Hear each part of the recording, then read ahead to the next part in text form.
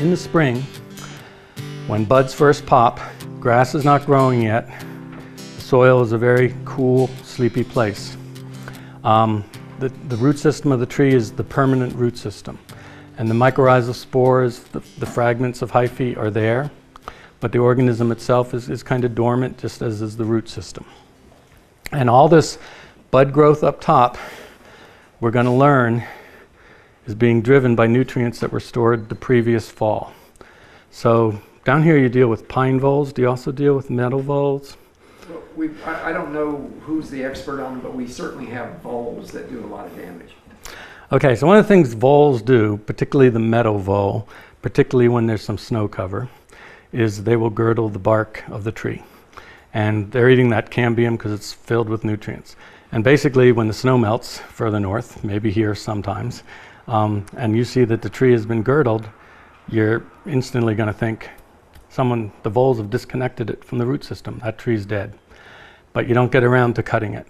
And you see the leaves pop and get full, and you see flowers bloom.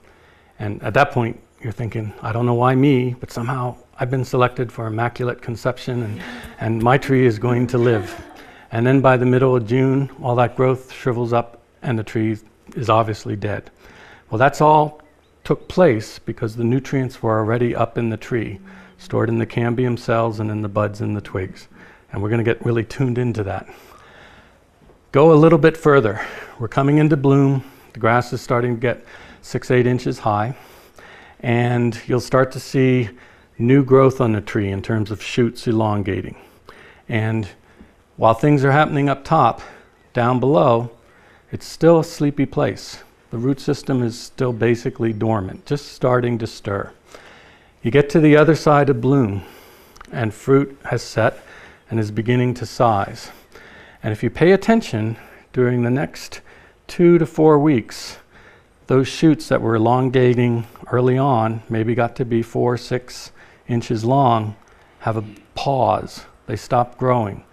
And when things stop up top, that means something's going on down below. And this is when the spring feeder root flush is taking place. Now, a feeder root on a fruit tree is on the order of one to two inches long. And the spring feeder root flush is all about gathering nutrients to grow this year's crop of fruit and also to form flower cells for next year's crop of fruit. So, two very important happenings in terms of, of goals in the orchard. And I'm going to talk about biological mowing and how it ties to that point in time. And it's all about doing things for the feeder roots. That spring feeder root flush lasts maybe two to four weeks, and it's almost like autumn takes place underneath the ground. Those roots slough off. Maybe 10% of them will add to the permanent root system of the tree, but for the most part, they're ephemeral. They, they last a very short period, do their job, and then move on.